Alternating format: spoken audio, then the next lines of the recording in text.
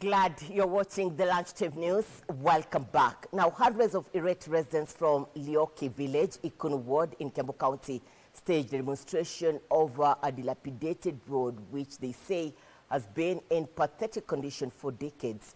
The residents' protest comes after what they term as empty promises by leaders maintaining that they are losing so many opportunities due to the impassable road.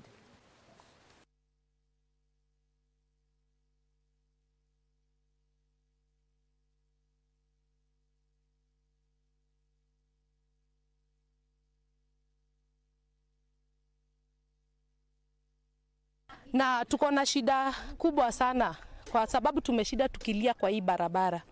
Hii barabara imetuletea shida kama sisi wazazi, juu saa zile watoto wetu wanaenda shule tu, inabidi tuwalete mpaka hapa juu sisi tunakaa na huku juu, gari haiwezi panda. Hisi vibaya sana, hata kwa saa hii naumia mwili juu nimeanguka na, na ninaambiwa nimembeba mapacha. Sasa nasidwa nitaenda kujifungua anje. Mara ya kwanza tunaandamana mara mingi, nao mkiandamana unapata maofisa wanamfungia pale juu ya nyinyi mnalilia haki yenu. We want to give them a notice today that we will be doing this every Tuesday. Yes. Yes.